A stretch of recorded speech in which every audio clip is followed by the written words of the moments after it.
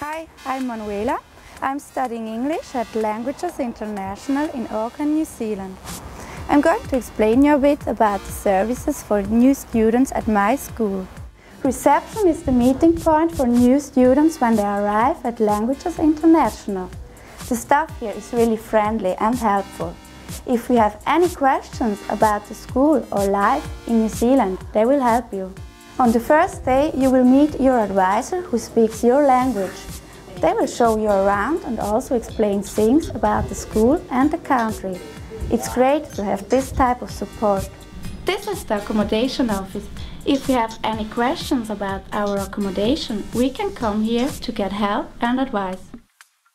The Learning Center is a really important place in our school. We can come here and focus on our own English learning goals with a lots of help from our teacher and the great resources here. Hi Roman. Hi Manuel. What do you do in the Learning Center? Uh, I spend my time in learning center between classes and after school.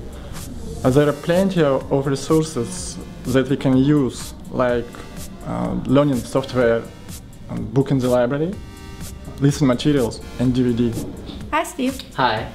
Why do you think the Learning Center is useful? If I want to study just what I need to study, like my listening, my Mm-hmm. writing, the Learning Center is a great place for that. Yeah. I can book time with a teacher so we can talk about what I really need to focus on. I really hope that you come and study here at Languages International. It's a great place.